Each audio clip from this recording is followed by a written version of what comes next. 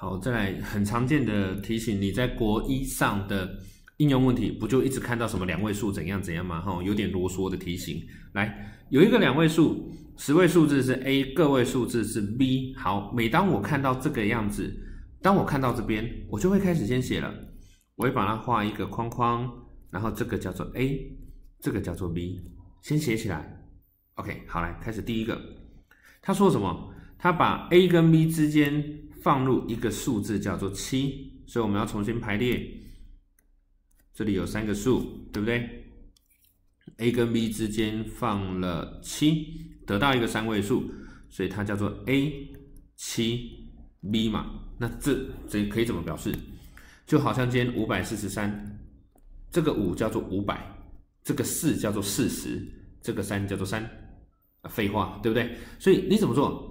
那个 a 你要记得把它乘上一百倍，所以就是一百 a 加七十，再加上什么 b，所以第一题的答案就这样表示。好，第二个，如果我在 a 的前面补上一个数字二，得到一个三位数，所以那个数字叫做什么？这里是 a，这里是 b。它这里补一个二，所以二 a b 就好像，比如说两百五十七，所以它当然的表示方式叫做两百。啊，a 在十位数就是要乘上十倍，然后这个叫做 b。好，所以两百加上十 a 加上 b，这是第二个答案。第三个，他说允杰所得的三位数的两倍，与永永所得三位数的七倍的和。好。换句话说，我就是要把这个人乘两倍，加上这个人乘七倍。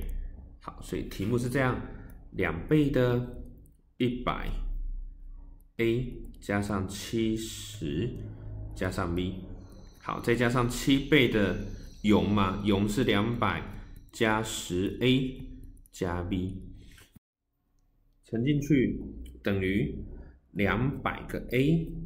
小心哈，加上一百四十，加上两个 b，那七乘进去会是一四零零加七十个 a，那最后七乘 b 别忘记哈，加上七个 b，那等于多少呢？a 的部分是两百个加七十个，所以两百七十 a，那 b 的部分是二加七，总共是九个 b，那常数的部分是一四零加一四零零，所以是一千五百。